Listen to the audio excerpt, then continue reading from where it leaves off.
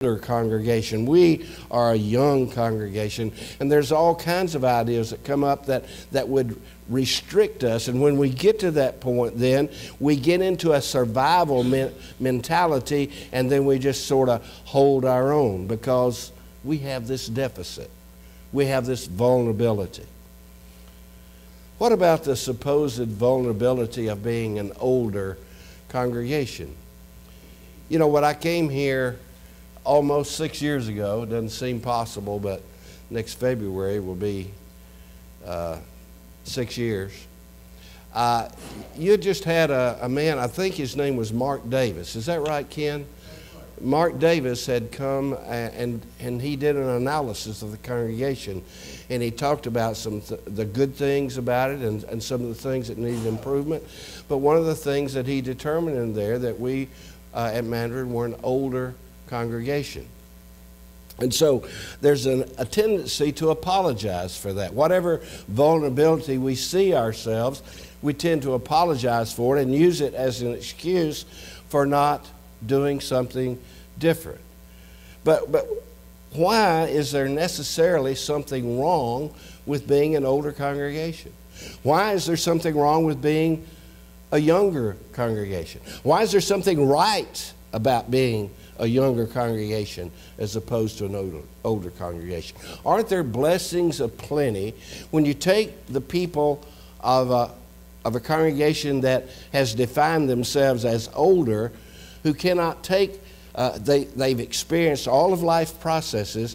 Why can't they love and express to those who are newer, earlier in life processes about what's entailed in the Christian life?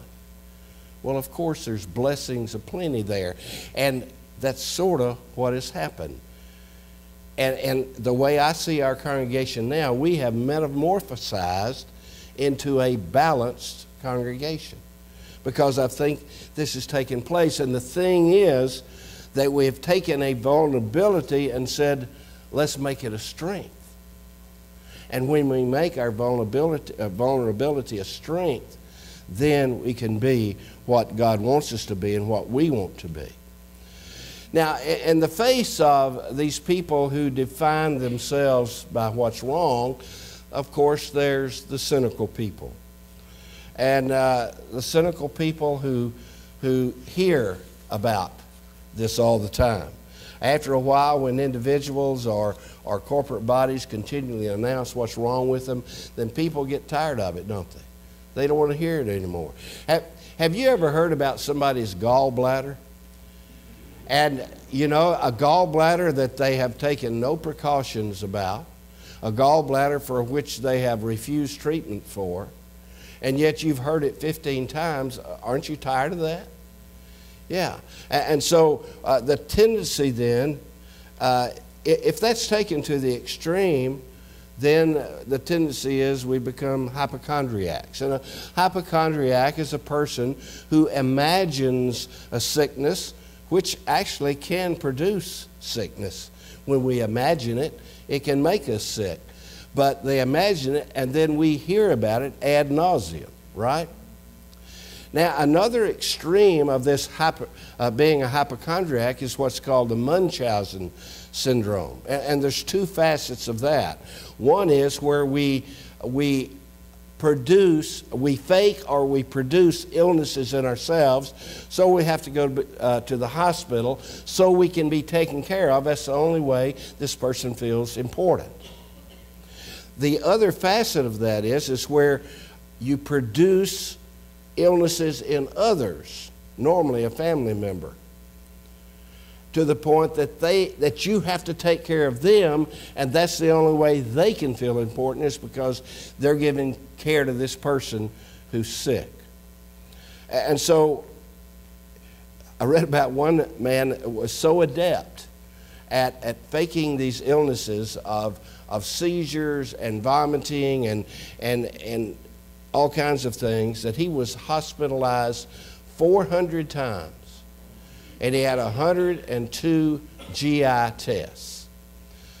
Man, I wouldn't want to go through that. Uh, even if it made me feel important. I think I'd just soon not feel important if I had to go through that. But you see, you pull that sort of thing often enough, it's sort of like the little boy that cried wolf, right? Pull this enough, and people re- will react just as they did with Bartimaeus long ago. Look at verse 48 of chapter 10. Many rebuked him and told him to be quiet. See, everybody gets tired of that. When we identify ourselves by, when we define ourselves by what's wrong, people get tired of that. And, and so many rebuked him and told him to be quiet. But he shouted all the more, Son of David, have mercy on me. And Jesus stopped and said, Call him. So they called the blind man. Cheer up, on your feet. He's calling you.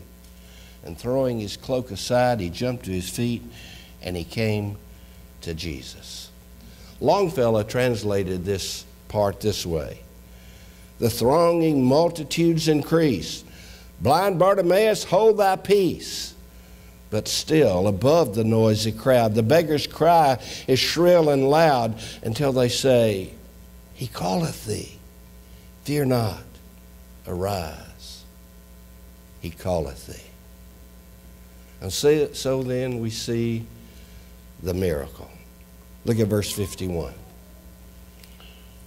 What do you want me to do for you? Jesus asked him. The blind man said, Rabbi, I want to see. Go, said Jesus, your faith has healed you. Immediately he received his sight and followed Jesus along the road. You see, for Bartimaeus, illness had become a way of life. But you see, now a change appears. Now begins to be a redefinition of his life. Longfellow continues his poem. Then saith the Christ, as silent stands the crowd, What will thou at my hands? And he replied, Oh, give me light. Rabbi, restore the blind man's sight. And Jesus answered, Go in peace. Thy faith from blindness gives release the blind man, blind Bartimaeus, he is now sighted Bartimaeus. The redefinition is complete. I read about a man who lost his sight in one eye when he was a boy. It's back in the 50s, and the, and the parents were roofing the house. He came outside and sort of looked up to see what was going on, and someone threw a shingle off and it hit him right in the eye. And the doctors gave him no hope of ever uh, seeing out of that eye again. And so over the years, he began to rely just on one eye, and he was at peace with the whole thing. 35 years later, when a doctor is examining his good eye, he also examines his bad eye, and he said, You know, there's a new procedure that I think, I can't make any guarantees, but I think if you would submit to this procedure, we could restore the sight in that eye. And so he did. And he gained his sight. And, and that's a great story that gives us a sense, though, of the, of the charged and the dynamic thing that happened with Bartimaeus. Here's a man who couldn't see, and now he can. There's another occasion in the Gospels where Jesus uh, heals a blind man, and, and, they ask him what he sees, and he said, "I see uh, a man that looks like trees." Uh, and so this person knew what a man looked like, knew what trees looked like. So it was assumed that he could see before and became blind. And a lot of people think that that blind man was Bartimaeus, and we don't really know if Bartimaeus could see before or not. But either way, He's blind now and he wants to see again. He wants to see. And so it, would be nice if sight could be restored to everybody whose eyes no longer function as they should. And, and, we know that's not always possible. But you know, there are no ones, no people so blind as those who will not see. That will not see what God has to offer. And so the fact is, the eyes of the soul can be repaired. When we refuse to see, and we're defined by that definition that we don't know anything about God or we don't know anything about salvation, we can have a redefinition of who we are if we just began to allow ourselves to see. Longfellow ends his poem this way Ye that have eyes yet cannot see, in darkness and in misery, recall those mighty voices three Jesus, have mercy on me. Fear not, and go in peace. Thy faith from blindness gives release. Friends, have you been blind to the gospel? Have you been blind to, to the faith that, that brings us to God? Have you been blind to the salvation that's available in Jesus Christ? You see, Bartimaeus was moved from sitting by the side of the road as a deficit and walking down the road with Jesus. And that's where we need to be. There's something in this story that, that sort of gets into me into my life and, and probably into all of our lives. Into our, our weaknesses our, our doubts our fears our preoccupations our hesitations all those things that began to define us by what's wrong with us. How do you see yourself? How are you defining your life how do you define yourself to others.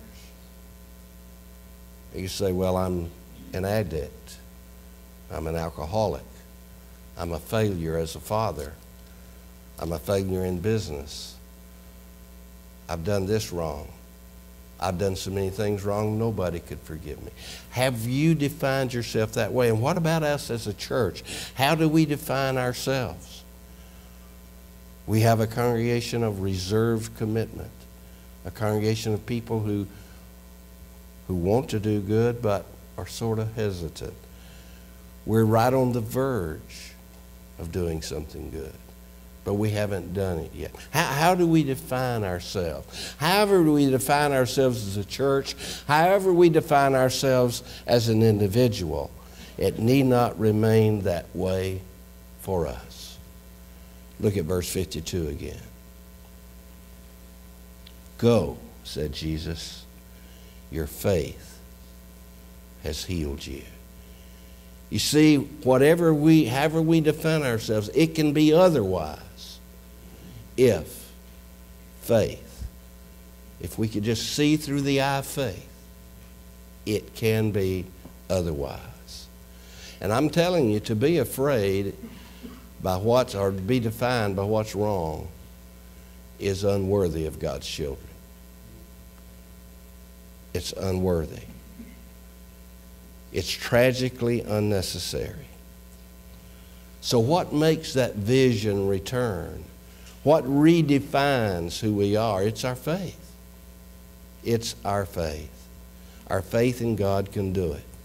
All that poorly defines us can be removed if we'll just remember who we are, to whom we belong. And we can go from sitting by the side of the road as a deficit to walking forward down that road, hand in hand with Jesus, our Savior. And it's audacious faith that will make it happen. To whom do you belong? How do you express your faith? How do you exercise your faith?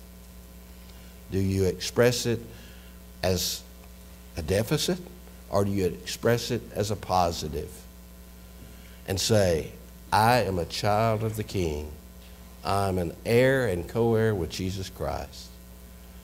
Things are just lovely and great because I belong to God.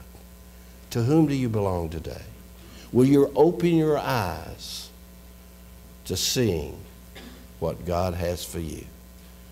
If you need Him today, I hope you'll come while we stand and sing today, together. Oh, to Jesus I surrender all. To Him I freely give.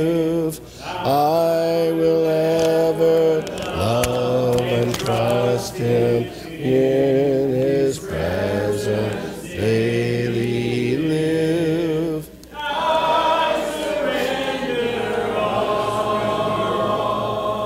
I surrender all to Thee, my blessed Savior. I surrender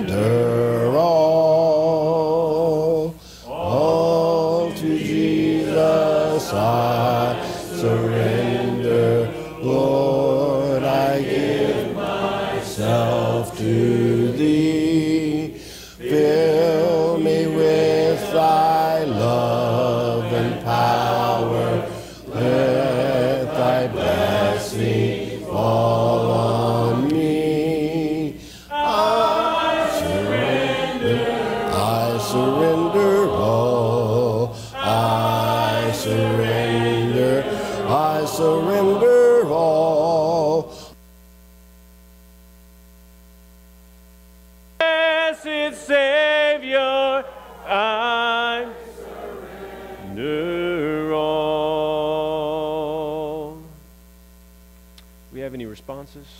We need to go over? We'll have a closing song and we'll dismiss our service with a prayer. I am thine, O Lord, I have heard thy voice, and it told thy love to me. But I long to rise in the arms of faith and be closer drawn to thee. Draw me nearer, nearer, blessed Lord, to the cross where thou hast died. Draw me nearer, nearer, nearer, blessed Lord, to thy precious bleeding side. Consecrate me now to thy service of grace divine. Let my soul look up with a steadfast hope, and my will be lost in thine. Draw me nearer, near, blessed Lord, to the cross where thou hast died. Draw me nearer, nearer, near, blessed Lord, to thy precious bleeding side. Almighty Father, we give you thanks for the power of Jesus. We give you thanks for the gospel, which is the, your power unto salvation. And Father, we pray that you would let that power work in us. We pray, Father, that you would help us to release the things that are holding us back from serving you fully and giving you all of ourselves and surrendering all to you. Father, continue to work in our lives. Let us have a positive disposition. Let us always see the good, that though we may fail here from time to time, we can still glory in the cross of your Son, Jesus.